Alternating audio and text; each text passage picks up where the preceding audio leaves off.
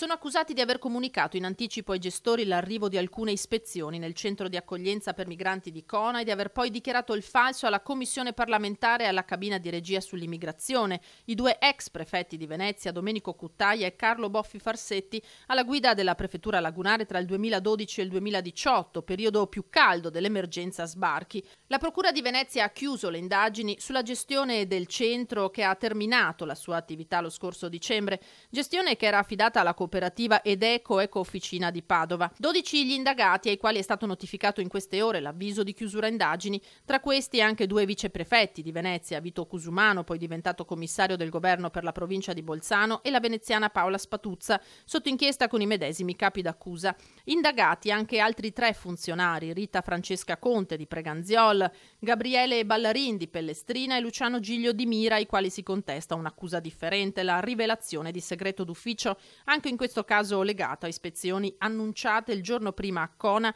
ma anche in via Castellana, Mestre e poi Marghera e Dolo. L'altro ramo dell'inchiesta, quello relativo alla frode contrattuale, riguarda principalmente i vertici della cooperativa. Sarà la Procura ora a stabilire come procedere e a decidere se chiedere il processo per tutti e 12 gli indagati.